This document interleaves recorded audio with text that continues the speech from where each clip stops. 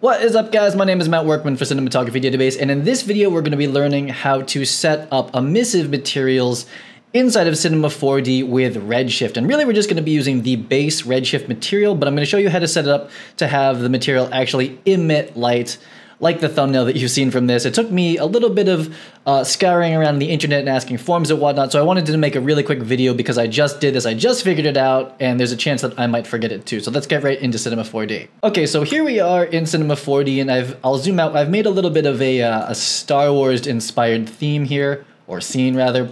And it's really simple. These are rocks that are from Quixel Megascans. They're from the, the free set. I'm probably going to be uh, buying and subscribing to that service because these are a ton of fun and they're set up the correct way as far as Redshift materials. This is a character from Adobe Mixamo Fuse and he is rigged up with some nice uh, Redshift materials as well. But most importantly down here, this is a texture from Poliigon and it doesn't look like much in the viewport, but it's really cool and it's this kind of like lava texture here. And uh, the most important part is that the lava should be glowing. It should be glowing, right? So I have a couple lights in this scene as well. I'll show you right now. We have one area light up there, and we have our little cylinder light or lightsaber. So I'm going to actually turn those off. So I'm turning off the, the backlight, turning off the lightsaber.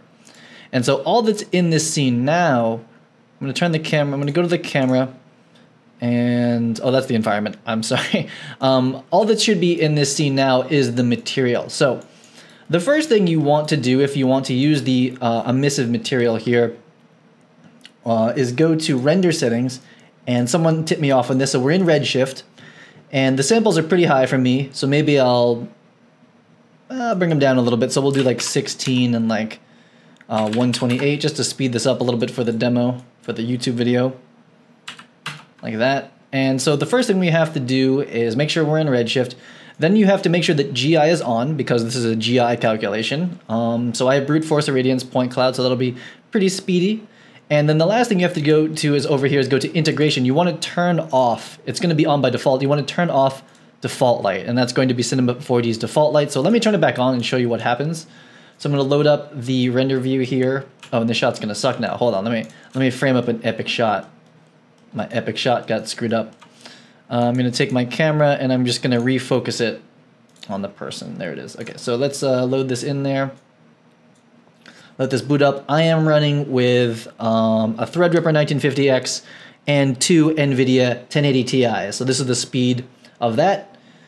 And um, yeah, so this is what happens if you have the default light on, which will come on by default. Super ugly. Of course, we have the default light and we have our material that is going to be emitting light, but it's getting crushed by the default light. So we're going to turn off default light and very quickly, there we go. Now we actually see that the material is emitting light. So let's go look at that material. So I'm going to close render settings. Make sure again you have GI on and turn off the default light. So I'm going to pause this. And I'm going to click on my texture and should we build it from scratch or can I just break it down? I guess I'll um, I guess I'll just break it down. Let's do it from scratch, right? That makes the most sense. So I am going to create a new redshift material here. The, the material, the Uber material rather, is uh, pretty amazing. I like it a lot. I'm going to call this RS Lava yeah, RS Lava. There it is. And let's open it up. And then I'm going to also drag this onto the, actually I have like specific settings on this. I guess we'll do it live. We'll just do it together. So I'm gonna put this on there and I'm gonna tell it to be cubic. Oh, and it kept the setting. So I'll put this back to what the default would be. Like this, and we'll go over those in a second. So that's the plane. Okay, so let's do some look dev stuff here and set up this material. So I'm gonna turn this on. It's a whole lot of nothing. There's a whole lot of nothing there.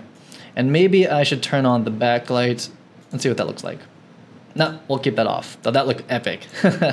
I must say that looked really cool.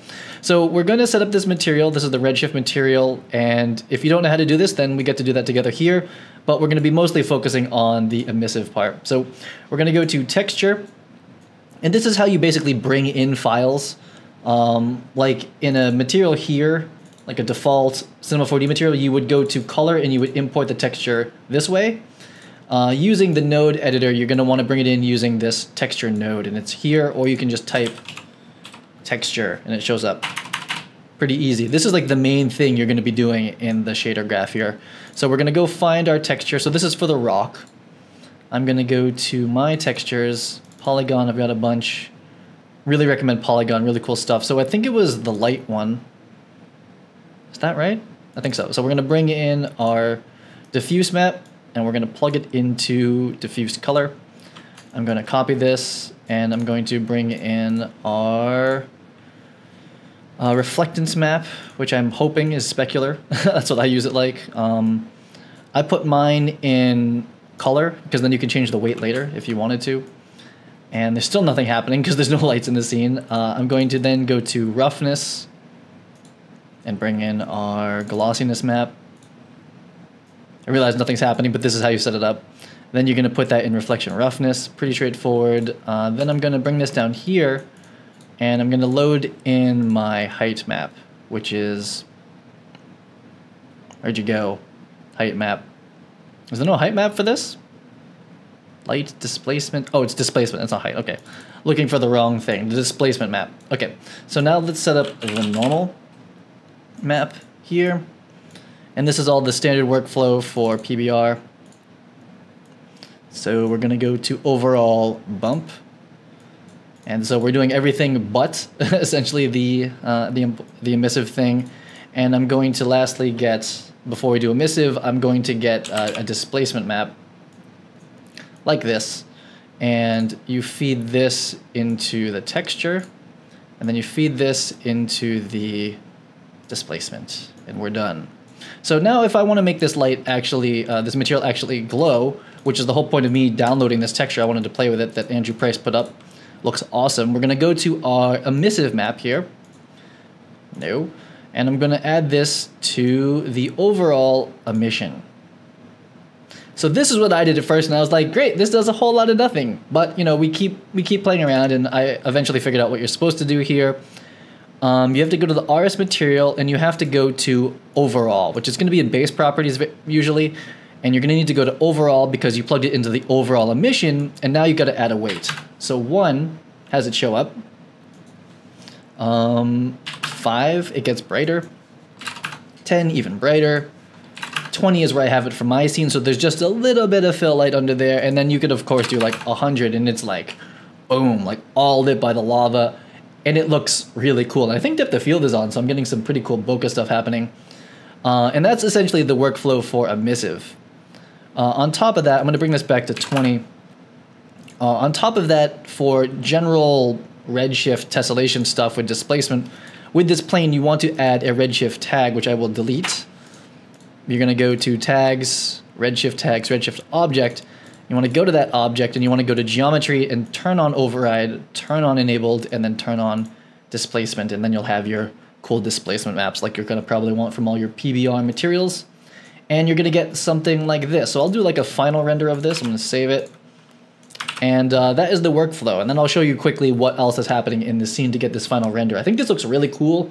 And I am extremely excited about How's the focus on this? I'm extremely excited about using Redshift and upgrading Cinema Designer to be able to use it because with my two 1080 Ti's and the speed of Redshift, I can render this 1080 by 800 frame or 1920 by 800 frame, which is huge with depth of field, with cool textures, really clean in 20 seconds.